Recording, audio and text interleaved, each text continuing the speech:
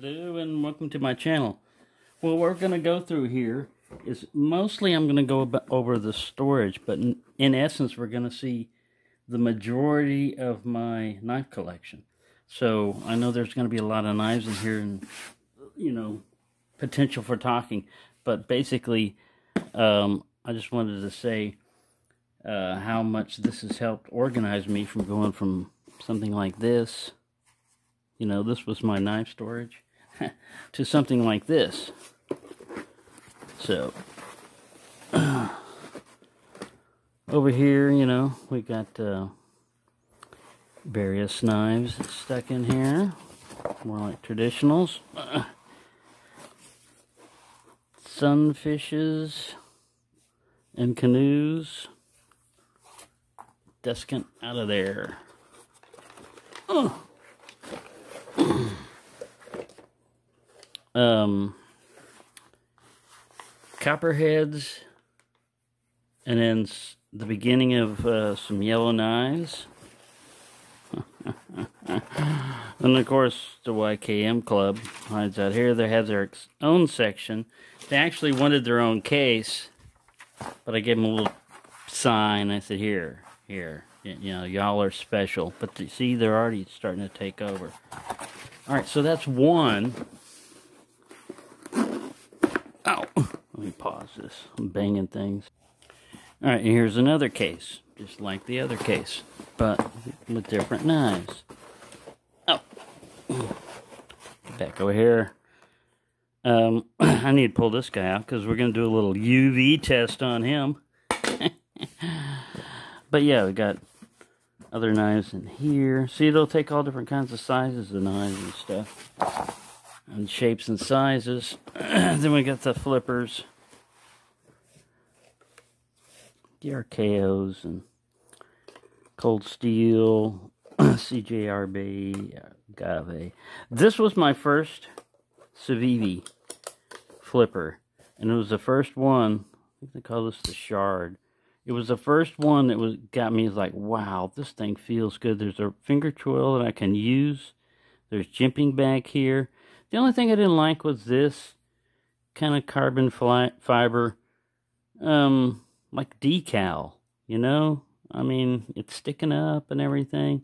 You could have at least recessed it in there or made it all carbon fiber or not. You know, either one. But, yeah, it's the only thing I didn't like about it. Uh, but other than that, it's a great knife. Got me into flipper knives, which is what I first started, you know, pursuing and everything was, I didn't, I wasn't into traditional knives. I was into flippers. And um, this is what stopped me from chasing flippers. The only problem is this one has a weak detent. See that? I can fail it easily. I can make it go. But I mean, usually Civivi doesn't have a weak detent, which surprised me. But when I took it apart and looked in the detent ball track, there's a dent in there like a Rockwell hardness test somebody did or something, right in the track. And I tried to smooth it out a little bit, but I don't want to screw it up, you know, because it is an important area, and I didn't want to go and make it worse. So I did, you know, try to follow the track with a hard um, tip of a file and go back and forth and, and oil it a lot. But it, that's what I always, I like the knife, but I, I was upset about the detent. And I tried everything everybody suggested. Try this, try that, try tightening the bar, try doing this, try doing that. And none of it worked. So when this other version came out in S35VN and I got it, that's perfect defense. I don't. There's no problem with it. It's not. This one hasn't been oiled or anything. I mean, I can't fail it. Every time. So, I'm happy with it. I really didn't need the S35VN, but, you know, what the hell. Here's Reserve, reserving himself for something. Not in a tube or anything. All right. Let me get some bigger knives over here. Some Barlows. Big Daddy Barlow. And uh, Rat. Dylan Mallory stuff. Praxis. Uh, this looks like a 940, but it's actually uh, Ganzo. Ganzo's uh, version. But it has a little... This is a Firebird. Use Firebird. I don't remember his number. I'll have to look at it.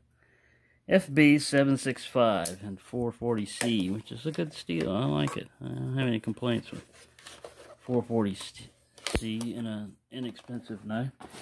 All right, and the last layer, older stuff and uh, newer stuff mixed in. The VG10 one. This is what I used to call the Rhino. This is a good little utility. Like if you don't like tantos or whatever, but man, if you ever need to work, scrape something off, you can use just this edge for that, and you still have this for cutting stuff.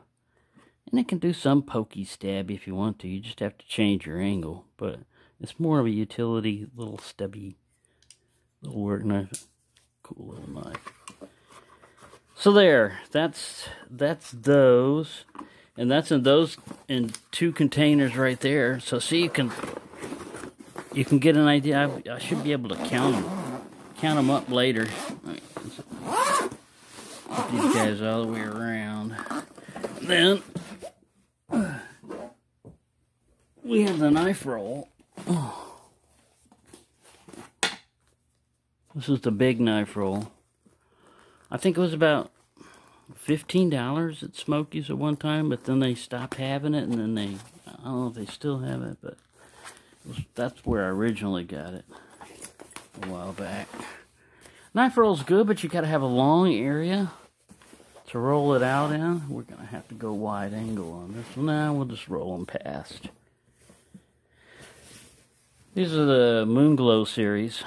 I guess they could be classified as yellow if we get into the yellow knives matter club. Uh, some hawk bills, different hawk bills. This is one of those multi-bladed rough riders. Remember this guy is always a marbles. These are marbles. This one, like I said, was the reason why I, it took me a while before I really got into sunfish because um, this baby sunfish here, uh, yeah, it's nice and everything, but I mean, when you pull it out, it's okay, but what got me was me, the secondary blade on this guy. This is a number 10 nail pull on this one. See? You can't, you can't, you have to pull this blade up to get to that one. And then you got a stubby little dinky blade. It only goes about that far. And I thought, man, I don't know what the hype is about sunfish. I mean, it's got nice abalone and everything in it. Um, but I don't like them. And it was because I had a baby sunfish. So later on, when Knife Detector started doing his series about sunfish, that's when I went, wow, I need to get into those. And then I like sunfish.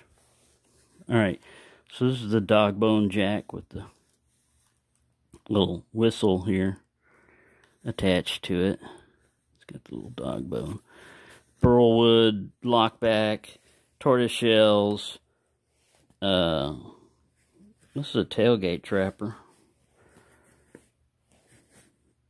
We'll see a lot of Rough Riders in here. Higo Konami, or Higo Nogami, or whatever you call it. Higo Nogami by uh, Starry Lock sent me this one. In Hitachi Blue Paper Steel.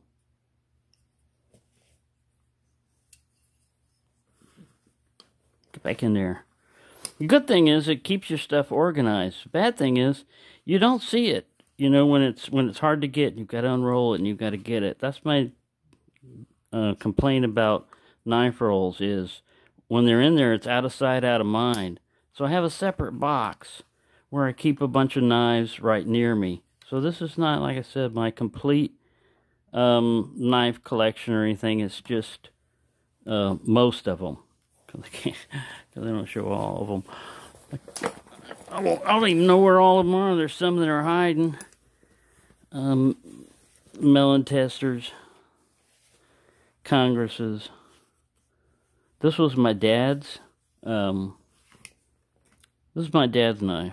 What he carried or had on him. A little frost. I remember what they call this. He had a special name for this multicolored wood. Frostwood, I guess. Um, but yeah, let's, let's zoom in see if we can see what the date is on this. Nope, I can't see crap. Frost cutlery. There's something underneath it. Uh, surgical steel. So see, Dad wasn't into super steels and everything. He was more of appearance. He probably bought it because he liked the looks of it, and it was the size that he wanted. He didn't want a big knife or something. He wanted a pocket knife. Which is, you can see, it's about the size of a peanut. This peanut, this is a, oh, I forgot about him. He can go in my Barlow section. I have a little Barlow section. I'm going to put up uh, different Rough Riders, Trappers. Um, this is one of those, you know, flip out ones I did a thing on. Where some people had a problem with this lock system. Not not just like this going all the way over. This is alright because it it's not going to hurt. It's designed it to hold it right there. But this part, you see how the hinge is already sticking out a little bit? It has, mine's solid, has a good lockup. But I saw one where there's like a little detent where the guy's blade is sticking up like this on it. So you take your chances on some of these. Um, this looks like the identical knife, but instead it's just a trapper. The Outdoorsman series. See, I was trying to put them all together, all the little acorns together. Whoa! See, and that happens too. You didn't see it, but the end fl flips over. I mean, it, it keeps them secure. It keeps them stored and everything, but uh, it's a pain in the butt to use, especially on the big ones. Now, the smaller ones that'll fit on a table or a chair or something else. And this is um, pleather. This is vinyl, simulated leather.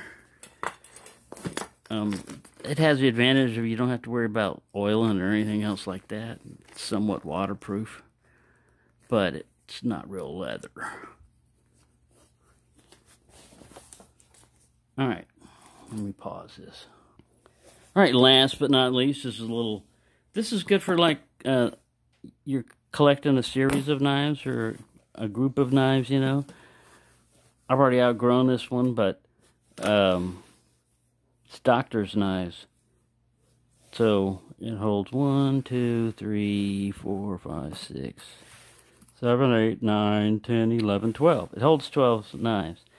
Now, if you were going after all cinnamon, you know, whatever, you could put them all in, you know, you could all, put a whole series in there. And it it's nice, it's backed. Um, it's easy to, you know, it's just got a couple little snaps. There's no handles or anything. It's fairly simple. It stores up, you know, flat or upright fairly easily. So if you combine those knives with um, the tackle box that I showed the last time and the fishing lure type one. All we have left is another box. Let me go get it. So yeah, I'm retired, so I have I have a chair that sits next to me, and then these chairs I keep these two, you know, on a, a on a table right next to me. I have this, and I just keep like my most current knives and knives I like to mess around with. Um, I have a sheath for this too. I just don't leave it in this box. This is just a reach and grab. I was carrying this brother knife. Pretty cool. It's the 15. I really love brother knives, man. They're they're great. Um, this one here, I'm still I carry with me all the time. Is this what F005? Sorry, this is bouncing around. We're at an alternate table. This is the dinner table in D2, but man, this thing is wicked on cutting stuff. It's got that Scandi grind. D2, so you're not going to get edge roll. This guy is great. I love this. I love this knife. All these right here, you know, I'm just always messing around with, of course, recent purchase, like I said. And then, uh, this one's another great one, the half hawk. So I'm sort of organized. I just took a cardboard box, reinforced it with strapping tape, you know, and then on the kind of uh, pulse oximeter, a UV light. See now what the UV light is good for is uh, you can see things. Now I saw this before. See how it kind of fluoresces? I saw it before, but it didn't. It didn't stay long, so I just. I never. I never used a UV light on it until after um, Tobias put that up about it. But I looked at it. I was like, wow. I looked at it in different light, you know, inside and outside. But I never looked to see if it glowed. And after Tobias said that, man, you can see you get a little phosphorescent. You see how it's glowing? But it goes away quick.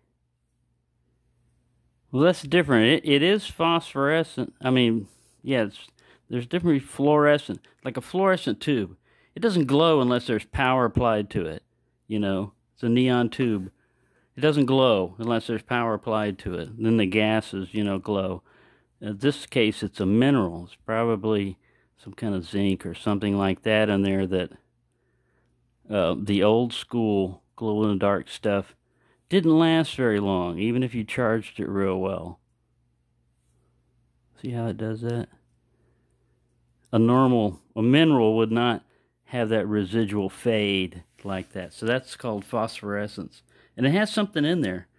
So the, uh, what I was saying is, I can see how uh, Tobias was saying that Smoky um, Mountain Knife Work didn't want to advertise it as one of those because I have other knives that will glow in the dark for a long, long time. I don't know where I've got it hidden. I've got it hidden somewhere. It's kind of like this guy. This guy, you know, doesn't look like he's phosphorescent or anything or fluorescent. But if you hit it and it's dark enough, there's little sparkles in there, like a little glitter. Can't see it. Maybe it'll focus.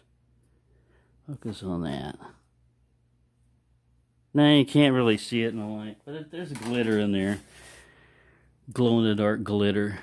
So yeah, this is cool, man. I would have advertised. I would have said, um, I wouldn't have said anything about it being phosphorescent or, or glowing or anything like that. I would have just said, for a special treat, hit it with a black light.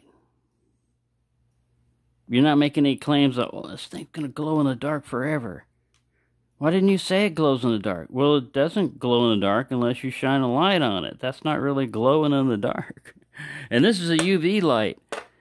It's an Olight i3EOS, i3UV EOS. Now they have a they have a, a i5, which is a double A. I think this guy is just a triple A. Yeah, he's just a triple A. And it's the original one it came with the light. Nothing special. But it's a nice little light. You can also see cracks and scales a lot of times too. Um, that don't normally show up, you know, especially around the pins. You hit it with a light and you're looking at it up close and you go, hey. So anyways, there you go. That's the Celestial series, I guess. And over here, you know, I just got little small um, pen knives and stuff, you know.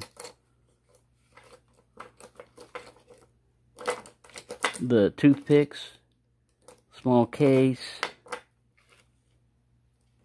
Want another toothpick, the pipe doctor, uh, little Barlow. This guy, I think, is the best um, little tool you can carry around because it's wedged like that. It'll work as a screwdriver and a pry bar. The newer uh, ones that Rough Rider has come out with has a hole in it and everything, which is, I'm sorry, I'm trying to find it over here. Trash the place, I can't find it. It has a hole in it and everything, and it has two different ends, you know. One is tapered and all is like a chisel. Uh, but they're, they're both very high chisel grind. And sometimes you need just this. Like you want to lift the lid of a plastic thing or something, but you don't want to use your knife and cut it. Uh, that's why I say I like these much better as a general. As, as far as a nail neck goes, yeah, I don't know.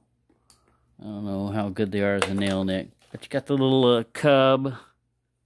Little cub block back. It's a little three and a half, but the way your finger falls in there. And this is tough. I mean, this is a thick blade. No, no wobble in it. It's thick. It's not like a, it's not like a toothpick. You can open up a can of soup with one of these, and you're not gonna mess it up. You're not gonna bend the tip of this blade. It's got a little swedge on it, even. These are cool. These are these are tough little knives, you know, for their size. Um, it's not like something like this.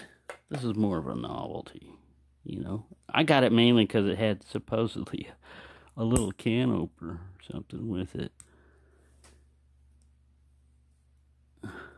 Little bottle cap lifter. I haven't tested that one, but it looks like it'll work. And then this kind of can opener.